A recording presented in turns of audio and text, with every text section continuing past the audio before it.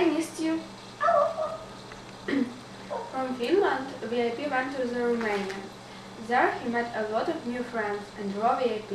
It is a Romanian parrot. VIP learned the Romanian language. He also learned to play the musical instruments. They sang Romanian songs. I would like to listen to them. At the, eight, uh, at the end of January, uh, VIP left Romania for Albania.